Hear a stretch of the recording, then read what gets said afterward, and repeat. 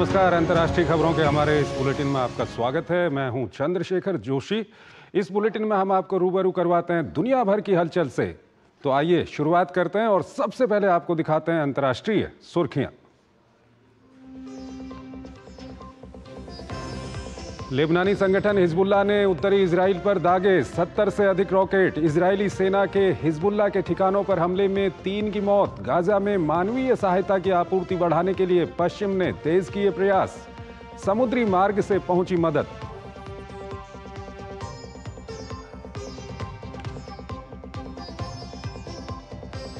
अंतर्राष्ट्रीय न्यायालय में इसराइल ने रफा ऑपरेशन का किया बचाव। दक्षिण अफ्रीका की याचिका को सच्चाई से भटकाने का बताया प्रयास। इजरायली वकीलों ने कहा, रफा में हमास के आतंकी ठिकानों का सफाया ज़रूरी।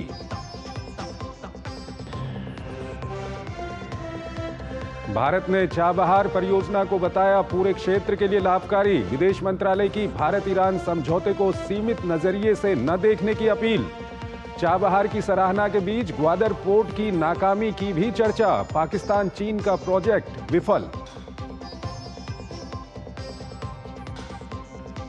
यूक्रेन युद्ध के बीच रूस के राष्ट्रपति का बड़ा बयान, कहा यूक्रेनी शहर खारकीव पर कब्जे की नहीं कोई योजना। उत्तर पश्चिमी खारकीव में रूसी सैन्य अभियान का किया बचाव, कहा अपनी सीमा के आसपास सुरक्षा जोन बनाना है हमारा लक्ष्य। और आइए सबसे पहले आपको लिए चलते हैं एशिया की ओर।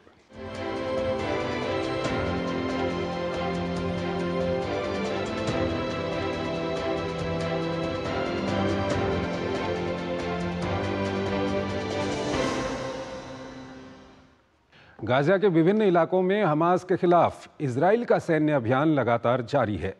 गाजा के जैतून इलाके में इजरायली सेना ने हमास की सुरंगों के एक तंत्र को नष्ट कर दिया।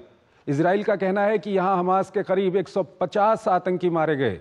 हमास भी इजरायली सेना पर लगातार हमले कर रहा है। इस बीच गाजा में आम लोगों का विस्थापन भी बड़ी चुनौती बना हुआ है। गाजा में इसराइल का सैन्य अभियान लगातार जारी है। इजरायली सेना हमास के आतंकी ठिकानों को चुन चुन कर निशाना बना रही है। गाजा के जैतून इलाके में इजरायली सेना ने हमास की सुरंगों के एक तंत्र को नष्ट कर दिया। हमास के जिन ढांचों को निशाना बनाया गया, उनमें मिसाइल दागने वाले ठिकाने भी शामिल है। जैतून में हुए ऑपरेशन में लगभग 150 आतंकियों को मार गिराया गया। उधर हमास की तरफ़ से इसराइल सेना पर हमले भी जारी हैं। हमास ने गाजा के जबालिया में इजरायली टैंक को निशाना बनाने का दावा किया है। हमास की तरफ़ से जारी एक वीडियो में ऐसे ही एक हमले को दिखाया गया है। लड़ाई के बीच गाजा में मानवीय सहायता की आपूर्ति तेज करने के लिए भी प्रयास जारी है। समुद्री मार्ग से गाजा में मानवीय सहायता पहुँचाने के लिए अमेरिका ने बड़ी पहल की है। अमेरिका द्वारा तैयार एक अस्थायी तट पर सहायता की खेप उतरने लगी है। गाजा में अधिक लोगों तक मदद पहुँचाने की दिशा में यह एक बड़ा कदम है। इस अस्थायी घाट का उद्देश्य फलस्तीनी लोगों को महत्वपूर्ण मानवीय सहायता पहुंचाना है। यह संयुक्त राष्ट्र के साथ समन्वित एक अंतर्राष्ट्रीय स्तर पर समर्थित प्रयास है। हम गाजा में मानवीय सहायता के प्रवाह को बढ़ाने के लिए कई हफ्तों से यूएस एंड की टीम साइप्रस इसराइल और संयुक्त राष्ट्र के साथ कंधे से कंधा मिलाकर काम कर रहे हैं। वहीं लेबनान के सशस्त्र समूह हिजबुल्ला की तरफ़ से भी इसराइल पर मिसाइल हमले जारी हैं। हिजबुल्ला की तरफ़ से उत्तरी इसराइल में 75 रॉकेट दागे गए। हालाँकि इसराइल की आयरन डोम वायु रक्षा प्रणाली ने इन रॉकेटों को हवा में ही मार गिराया।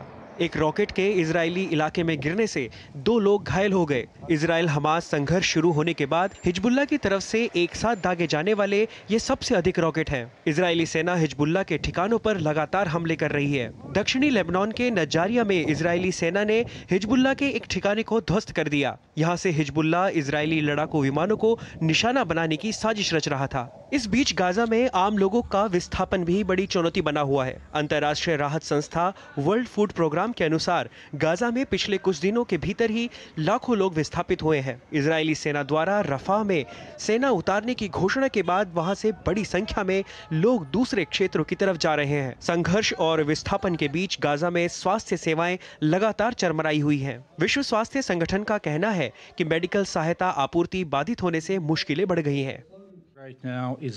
हमारे पास चिकित्सा आपूर्ति नहीं है हमारे पास ईंधन नहीं है। अस्पताल हैं लेकिन उन्हें खाली करने का निर्देश मिल रहा है। हमारे पास ऐसी स्थिति है जहाँ हम आगे नहीं बढ़ सकते हैं। इस बीच मामले की गूंज अंतर्राष्ट्रीय स्तर पर लगातार सुनी जा रही है। इसराइल के वकीलों ने संयुक्त राष्ट्र की सर्वोच्च अदालत में अपने देश का पक्ष रखा। इसराइल की अदालत को बताया कि उसे आत्मरक्षा के लिए रफा में पूर्ण जमीनी सैन्य अभियान का अधिकार है। ध्यान रहे कि दक्षिण अफ्रीका ने अंतर्राष्ट्रीय अदालत का दरवाज़ा खटखटाया है। उसकी याचिका में अपील की गई है कि इसराइल को रफा में सेना उतारने से रोका जाए। रफा में सेना उतारने को लेकर कई पश्चिमी देश भी इसराइल को रोक चुके हैं। तेरह पश्चिमी देशों ने इसराइल से आह्वान किया कि वो इस सैन्य अभियान को न छेड़े। आह्वान करने वाले देशों में Australia, Britain, Canada, Japan, New Zealand, दक्षिण Korea, Denmark, Finland, France, Germany, Italy, Netherlands और स्वीडन शामिल है। इसराइल का लगातार कहना है कि रफा में हमास ने सुरक्षित आतंकी अड्डे बना लिए हैं, जिनका सफाया बहुत ज़रूरी है। चीन दौरे पर गए रूसी राष्ट्रपति व्लादिमीर पुतिन ने संकेत दिए हैं कि वो यूक्रेन मसले पर समझौता वार्ता करने के लिए तैयार है। लेकिन रूस किसी भी तरह की चेतावनी को बर्दाश्त नहीं करेगा। वहीं पुतिन ने कहा कि रूस चीन व्यापार में आ रही समस्याओं का समाधान खोजा जा सकता है। पुतिन ने चीन के उत्तर पूर्वी शहर हार्बिन का भी दौरा किया। रूसी राष्ट्रपति छह महीने में दूसरी बार चीन के दौरे पर हैं।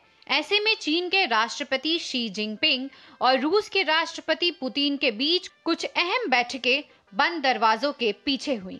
तो वहीं पुतिन ने चीन के शहर हार्बिन में स्थित चीन की आज़ादी के दौरान शहीद हुए सोवियत सैनिकों की स्मारक पर जाकर उन्हें श्रद्धांजलि दी। दोनों नेताओं ने बीजिंग के झोंगनान हाई में यूक्रेन समेत अन्य रणनीतिक मुद्दों पर चर्चा करने के लिए बैठक की। वहीं पुतिन ने एक प्रेस कॉन्फ्रेंस की जिसमें उन्होंने कई अहम मुद्दों पर टिप्पणी की। पुतिन ने संकेत दिए कि वह यूक्रेन मसले पर समझौता वार्ता करने के लिए तैयार है। लेकिन रूस किसी भी तरह की चेतावनी को बर्दाश्त नहीं करेगा। पुतिन ने यूक्रेन पर आरोप लगाया कि वह पश्चिमी देशों के दबाव के कारण बातचीत का विकल्प छोड़कर लड़ाई के रास्ते को अपना रहा है। रूस यूक्रेन जंग में खारकीव क्षेत्र में तेज़ी से आगे बढ़ रही रूसी सेना का लक्ष्य केवल अपनी सुरक्षा के लिए एक बफर जोन बनाना है। राष्ट्रपति पुतिन ने साफ़ किया कि खारकीव शहर पर कब्जा करना रूस की योजना का हिस्सा नहीं है। यूक्रेन संकट के समाधान पर बात की गई है। राष्ट्रपति शी जिनपिंग ने मुझे बताया कि उनके हालिया यूरोप दौरे पर इस बारे में चर्चा की गई। चीन इस समस्या को शांतिपूर्वक तरीके से हल करने को तैयार है। हमने क्यू से अपनी सेना हटा ली थी लेकिन उन्होंने इस समझौते को खत्म कर दिया। अब हम अंत तक लड़ेंगे। दोनों नेताओं के रिश्तों में दिख रही गर्मजोशी दोनों देशों के बीच रणनीतिक साझेदारी को मजबूती से पेश करती है। पुतिन ने चीन के उत्तर पूर्वी शहर हार्बिन के दौरे के दौरान हार्बिन इंस्टीट्यूट ऑफ़ टेक्नोलॉजी का दौरा किया।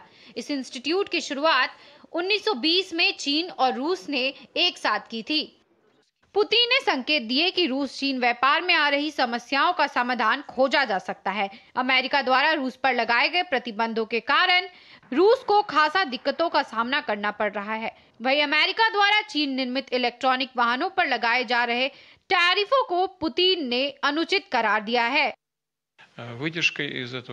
चीन की बनाई हुई कारें ज़्यादा बेहतर हैं। अमेरिका द्वारा चीन पर लगाए गए प्रतिबंध साफ़ तौर पर अनुचित प्रतिस्पर्धा को जन्म देता है। सत्ता संभालने के बाद राष्ट्रपति पुतिन ने सबसे पहला चीन का दौरा किया है। ऐसे में यह दौरा हर लिहाज से ज़रूरी हो जाता है। फिर चाहे वो रूस यूक्रेन जंग हो या दोनों देशों के रिश्ते ईरान में चाबहार पोर्ट को लेकर हाल ही में भारत और ईरान के बीच एक दीर्घकालिक समझौता हुआ है। ये समझौता भारत के लिए काफ़ी महत्वपूर्ण है। इससे अफ़गानिस्तान, मध्य एशिया और यूरेशिया तक भारत का व्यापारिक संपर्क और मज़बूत होगा। चीन, पाकिस्तान आर्थिक गलियारे के प्रमुख केंद्र ग्वादर पोर्ट से अगर इसकी तुलना करें तो ये काफ़ी फ़ायदे का सौदा है। और ईरान के बीच हुआ हालिया दीर्घकालिक समझौता बेहद अहम माना जा रहा है। दस वर्षों के लिए हुए इस समझौते से चाबहार में भारत की दीर्घकालिक सक्रिय भागीदारी सुनिश्चित हुई है। ये पहल क्षेत्रीय कनेक्टिविटी के साथ साथ अफ़गानिस्तान मध्य एशिया और यूरेशिया तक भारत के संपर्क को आसान बनाएगी। We see Chabahar uh, uh, realizing the potential of the uh, of the place as a connective, connectivity hub for Afghanistan and for landlocked uh, Central Asian countries. Uh, you know that this port is being operated by Indian India Ports Global Limited since 2018, uh, and uh, through the port we've been able to uh, supply a lot of and provide a lot of humanitarian assistance to Afghanistan. In the past, we've since 2018 we've supplied 85,000 metric tons of wheat, 200 metric tons of pulses, and 40,000 liters of pesticide malathion to Afghanistan through this port. Chabahar की सफलता की कहानी जानकारों का ध्यान क्षेत्र के एक और पोर्ट की असफलता की तरफ़ खींच रही है। पाकिस्तान का अरब सागर के तट पर स्थित ग्वादर पोर्ट घाटे का सौदा साबित हुआ है। चीन, पाकिस्तान आर्थिक गलियारे का प्रमुख केंद्र करार दिए जाने के बावजूद इससे न तो राजस्व हासिल हो रहा है और न ही वाणिज्यिक शिपमेंट गतिविधियों को रफ्तार मिल पाई है। ग्वादर के हालात इस बात से समझे जा सकते हैं कि बीते आठ वर्षों में यहाँ अंतर्राष्ट्रीय समुद्री यातायात की आवाजाही न के बराबर हुई है। 2016 और 2022 में तो यहाँ पूरे साल में केवल चार चार समुद्री मालवाहक पोत ही पहुँचे, जिस पोर्ट को एक लाख सैंतीस हज़ार कंटेनर प्रति वर्ष क्षमता के हिसाब से विकसित किया गया था। वहाँ लगभग कोई भी कार्गो नहीं आता, जिससे पाकिस्तान को आमदनी हो। इन हालात के बाद भी चीन की China overseas port holding company ने इस पोर्ट को 40 साल की लीज पर हासिल किया है। इसको लेकर जानकारों का मानना है कि चीन की असली मंशा कुछ और दिखाई देती है। चाइना का बीआरआई प्रोजेक्ट आर्थिक नहीं, बल्कि सैन्य और सामरिक है। दुनिया में भले ही वो इसे इस तरह से प्रोजेक्ट कर रहा है कि इसका अंतिम उद्देश्य चाइना और विश्व की आर्थिक विकास के लिए है।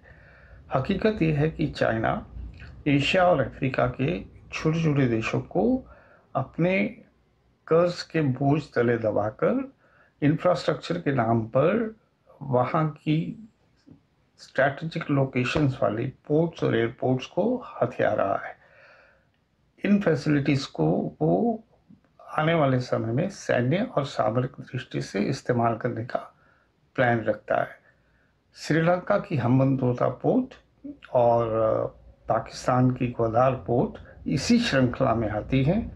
ग्वादर जैसे सीपेक प्रोजेक्ट्स के लिए चीन पाकिस्तान को ऋण देता है, फिर इनका ठेका भी चीनी कंपनियों को ही मिलता है। इसका सीधा मतलब निर्माण के लिए भुगतान के मामले में पाकिस्तान को दिया गया चीन का ऋण वापस चीन को ही चला जाता है। परियोजना के पूरे होने के बाद बुनियादी ढांचे का परिचालन नियंत्रण भी अक्सर चीनी कंपनी के पास ही रहता है। ग्वादर का 90 प्रतिशत राजस्व बंदरगाह का संचालन करने वाली चीनी कंपनी को ही जाता है। मतलब पाकिस्तानी सरकार को सिर्फ़ 10 प्रतिशत राजस्व ही मिलता है। इतना ही नहीं, इस राजस्व से आर्थिक तौर पर खस्ताहाल पाकिस्तान के प्रांत बलूचिस्तान को कुछ भी नहीं मिलता, जहाँ ये स्थित है। इस वजह से इसको लेकर आक्रोश और प्रोजेक्ट में लगे चीनी नागरिकों पर हमले भी होते रहते हैं। Bureau report, DD news.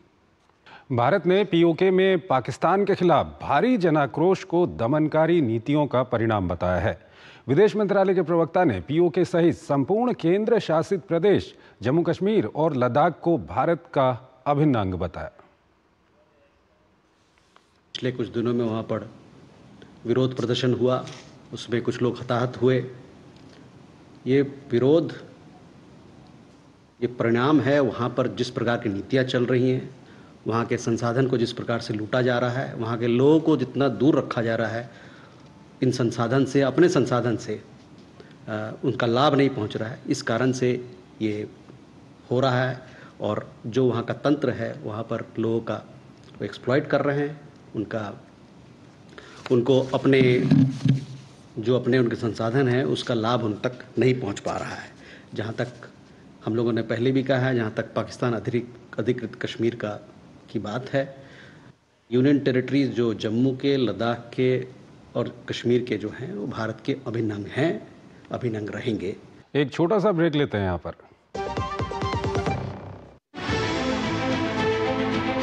सियासी बिसात पर राजनीति का गुणाभार गठबंधन की सियासत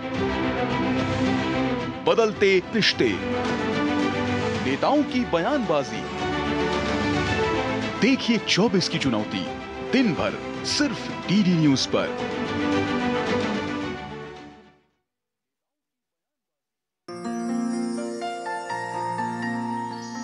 घर पे बहन की शादी है। छुट्टी चाहिए। कम से कम तीन दिन की छुट्टी चाहिए। कम से कम। वैसे तो आजकल शादियों की सेलिब्रेशन हफ़्ता हफ़्ता चलती है। क्यों देखना है भाई घर परिवार वाले कैसे हैं, रिश्तेदार कैसे हैं? बहन किस घर में जा रही है? बहन के फ्यूचर का सवाल है राइट तो भाई और बहन, एक दिन देश के लिए तो बनता ही है ना।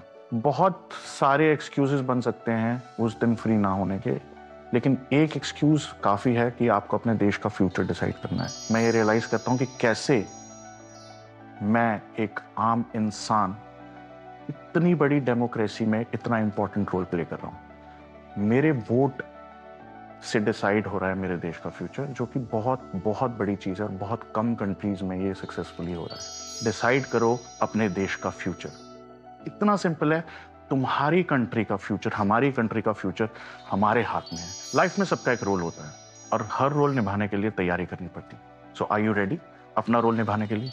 आप अपनी फैमिली को तैयार करें। आप अपनी फैमिली को बताएँ कि कितना इंपॉर्टेंट है वोट देना। सब वोट करें, कोई छूट ना जाए। उनका नाम इलेक्टोरल लिस्ट में चेक करो। ऑनलाइन चेक करो कि उनका पोलिंग बूथ कहाँ है। देखें कि वो वहाँ तक कैसे पहुँचेंगे एंड मेक श्योर कि वो अपने साथ अपनी वोटर आईडी या कोई भी आईडी प्रूफ जैसे आधार कार्ड पासपोर्ट या ड्राइविंग लाइसेंस साथ लेकर जाएँ।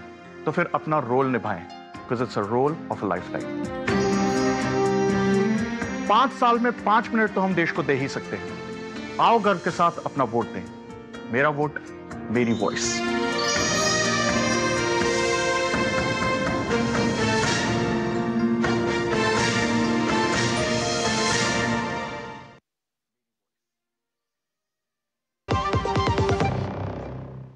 स्वागत है आपका ब्रेक के बाद। अगली खबर की ओर आपको लिए चलते हैं और अगली खबर है दुनिया का दिल।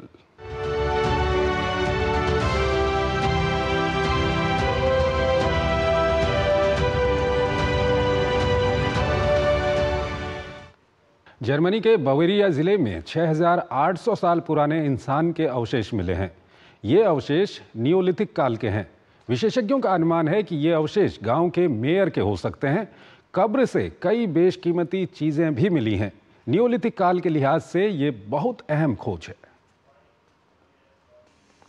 जर्मनी के बवेरिया ज़िले में स्थित आइचेंडोर्फ में सड़क के किनारे जब निर्माण का काम करने के लिए खुदाई की जा रही थी तब वहाँ इतिहास से जुड़े कुछ अनोखे रहस्य सामने आए। करीब 6,800 सालों पहले बवेरिया में रहने वाले एक व्यक्ति का कंकाल वहाँ से मिला। कब्र से मिली वस्तुओं से पुरातत्व विशेषज्ञ अनुमान लगा रहे हैं कि यह कंकाल गाँव के किसी सम्मानित व्यक्ति या फिर गाँव के मेयर का रहा होगा। आइचेंडोर्फ शहर में स्थित एक्सिंग इलाके में कंकाल के मिलने के कारण इस ऐतिहासिक खोज को स्थानीय लोग अब एक्सिंगर के नाम से जानते हैं। यह अवशेष नियोलिथिक काल के हैं, जिसे स्टोन एज के नाम से भी जाना जाता है। हालाँकि इस कंकाल के अवशेष अच्छी हालत में नहीं है। पुरातत्व विशेषज्ञ कब्र से मिलने वाले मिट्टी के बर्तनों से इसकी उम्र का अनुमान लगा रहे हैं। लोअर बवेरिया क्षेत्र में नियोलिथिक काल बहुत फला फूला होगा। हमें इस कंकाल से पता लगता है कि यह गाँव के किसी बुज़ुर्ग या उस समय के मेयर का होगा। इस कब्र में किसी सामान्य कब्र के मुकाबले चार गुना मात्रा में सामान रखा गया था। न्यूलिथिक काल से जुड़े अब तक के सबसे पुराने अवशेषों की फेरिहस्त में अब एक्सिंगर भी शामिल हो गया है। हालाँकि करीब 5,300 साल पुराने ओजी द डाइसमैन के अवशेषों को अब तक न्योलिथिक काल के सबसे पुराने अवशेषों में से एक माना जाता था। ओत्सी के अवशेष एक ग्लेशियर से मिलने के कारण बहुत अच्छी हालात में थे, लेकिन एक सिंगर समय की मार से नहीं बच पाया है। अवशेषों की पड़ताल से मिली जानकारी से पता लगा है कि एक सिंगर की लंबाई करीब एक दशमलव सात शून्य मीटर रही होगी, जो कि उस समय के औसत से कहीं अधिक है। कब्र से मिली बेशकीमती चीज़ों से पता लगता है कि वह एक मध्यम आयु का व्यक्ति रहा होगा। उस समय में ऐसी चीज़ें विरासत में नहीं मिला करती थी। उन्हें हासिल करना पड़ता था। इस कंकाल की खोज अप्रैल के मध्य में की गई थी। अब उसे आगे के पुरातत्व जाँच के लिए भेजा गया है। न्यूलिथिक काल के बारे में यह अवशेष कई कड़ियों को जोड़ने का काम कर सकता है। बात है 1990 की। दक्षिणी जर्मनी की एक खदान में काम करने वाले श्रमिकों को आर्कियोप्टेरिक्स जीवाश्म मिला था, जिसकी बनावट पक्षी की तरह है, लेकिन ये एक डायनासोर है।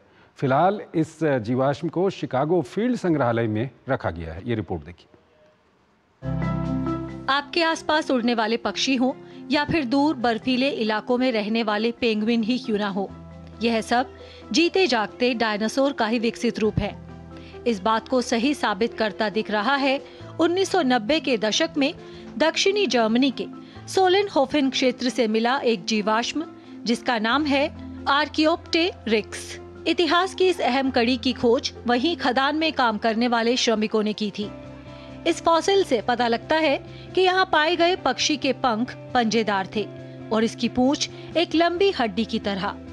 अब तक मिलने वाला यह पहला ऐसा अवशेष है जो कि डायनासोर का तो है, लेकिन इसकी बनावट एक पक्षी की तरह है। हालाँकि यहाँ मिले फॉसिल्स ने दूसरी बहस को भी जन्म दे दिया कि डायनासोर विलुप्त नहीं हुए बल्कि वह पक्षियों के आकार में ढल गए। शिकागो में स्थित फ़ील्ड संग्रहालय ने कुछ एजेंटों की मदद से ऐसे फॉसिल्स को अगस्त 2022 में खरीदा। इसके बाद से आर्कियोप्टेरिक्स जीवाश्म के असली स्वरूप को देखने के लिए फ़ील्ड संग्रहालय में पर्यटकों की भीड़ लगने लगी। पक्षियों के इतिहास को लोगों को रूबरू कराने वाले विशेषज्ञ अब इसकी तह में जाकर अपने अनुभवों को साझा कर रहे हैं। आर्क्योप्टेरिक्स एक ऐसा जीवाश्म है जो कि बताता है कि हमारे आसपास जो भी पक्षी हम देख रहे हैं वह जीवित डायनासोर हैं। हमारे आसपास मौजूद सभी पक्षियों के विकास की यात्रा को समझने के लिए यह एक पहली कड़ी है। आर्क्योप्टेरिक्स अब तक का सबसे ज़रूरी जीवाश्म है। चार्ल्स डार्विन के इवोल्यूशन के सिद्धांत पर मुहर लगाने वाला यह पक्षियों का सबसे पहला जीवाश्म है। शिकागो का आर्कियोप्टेरिक्स जीवाश्म अपनी तरह का दुनिया में तेरह जीवाश्मों में से एक है।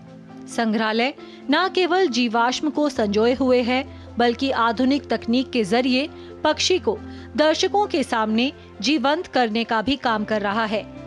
यहाँ आने वाले पर्यटक प्रत्यक्ष रूप से देख सकते हैं कि पक्षी उस वक्त दिखने में कैसा लगता होगा। मेरे लिए इसके साथ काम करना किसी सपने के साकार होने के बराबर था। यह एक ऐसी प्रजाति है जिससे हम बीते एक सालों से जानते हैं। बारह के करीब अवशेष हमारे पास पहले से ही मौजूद हैं जिनमें से आधे ही पूरे हैं। हम इस ढांचे के बारे में बहुत कुछ जानते हैं लेकिन बहुत कुछ जानना अभी भी बाकी है। मानव इतिहास की यात्रा बेहद रोचक है। और ऐसे अवशेष इस यात्रा के अहम बिंदुओं को एक साथ संजोने में मददगार साबित होते हैं। डायनासोर का क्या हुआ? इस सवाल का जवाब आज तक हमारे लिए पहेली बना हुआ है। लेकिन आर्कियोप्टेरिक्स जैसे जीवाश्म का मिलना इस सवाल के जवाब को ढूँढने में एक अहम कड़ी साबित होगा। और आइए अब आपको दिखाते हैं विश्व संस्कृति।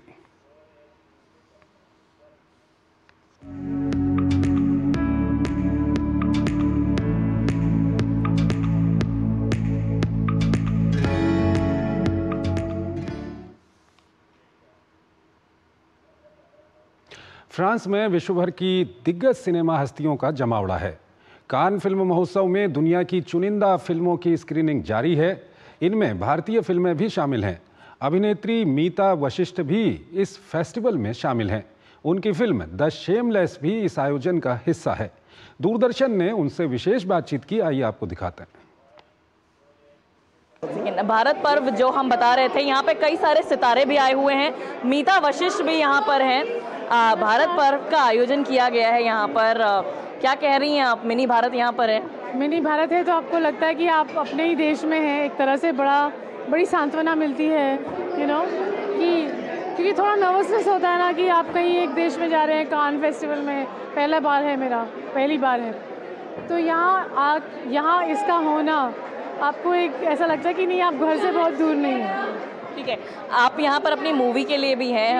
हम आपसे वापस कोशिश करेंगे पकड़ने के लिए लेकिन आप अगर यहाँ पर हैं तो थोड़ा उसके बारे में बता दें। और कितनी बड़ी बात है भारत के लिए इतना बड़े आ, स्तर पर सात फ़िल्में ले जाना या उससे भी ज़्यादा बहुत बहुत बहुत गर्व का एक उत्सव है हमारे लिए भारत के लिए। बहुत ही लिटरली हम उत्सव मना सकते हैं कि हमारी छः सात फ़िल्में यहाँ पे हैं।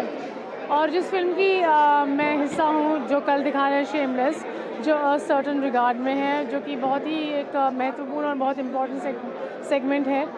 ये हालाँकि उसके प्रोड्यूसर्स बहुत सारे हैं। फ्रेंच हैं स्विस हैं इंडियन हैं और बहुत सुंदर फ़िल्म बनी। मुझे ट्रेलर देख के लगा कि ये बहुत सुंदर फ़िल्म है। उसमें श्रृंगार रस और विभत्स रस का एक बड़ा प्यारा मिश्रण होगा।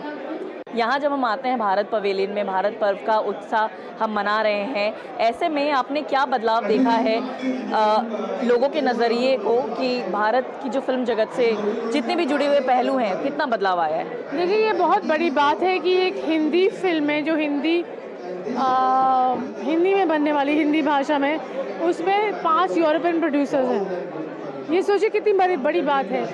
और मुझे लगता है ये बहुत महत्वपूर्ण है कि ये सिनेमा जो चीज़ होती है फ़िल्म मेकिंग नहीं फ़िल्म तो एक कारोबार भी होता है। लेकिन कारोबार के अलावा जहाँ पे कहानियाँ बिना कि हमें कितना मुनाफा मिलेगा, उसके बनाई जाती हैं, उनका एक बहुत महत्वपूर्ण स्थान है पूरे संसार में। और जब लोग बाहर से हिंदुस्तानी सब्जेक्ट में इन्वेस्ट करते हैं तो हमें दाद देनी चाहिए, इज़्ज़त करनी चाहिए, उनकी भी और अपनी भी।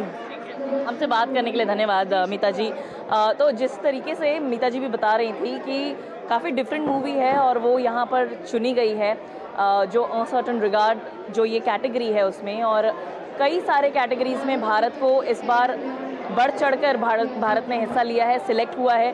तो ये सभी भारतीय के लिए एक गर्व वाली बात है। कैमरा पर्सन किशन चंद के साथ Shyama Mishra DD news Cannes France तो अंतर्राष्ट्रीय खबरों के हमारे इस बुलेटिन में फ़िलहाल इतना ही। आप हमारी पूरी टीम को इजाज़त दीजिए। नमस्कार।